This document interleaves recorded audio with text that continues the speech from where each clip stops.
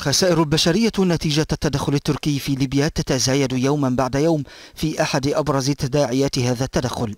المرصد السوري أشار إلى ارتفاع حصيلة قتلى المرتزقة الذين نقلتهم تركيا من سوريا إلى ليبيا إلى نحو 145 قتيلا.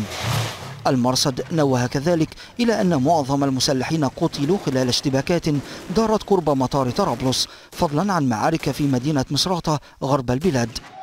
تزامن هذا مع تجدد القتال في طرابلس بين قوات الجيش الليبي والمسلحين الموالين لحكومة الوفاق برئاسة فايز السراج. تجدد القتال جاء رغم دعوة بعثة الأمم المتحدة إلى هدنة إنسانية لتمكين السلطات من التعامل مع مخاطر فيروس كورونا. مصادر عسكرية قالت إن معارك عنيفة بمختلف الأسلحة جرت في عدة محاور داخل العاصمة خاصة منطقة عين زارة في جنوب المدينة.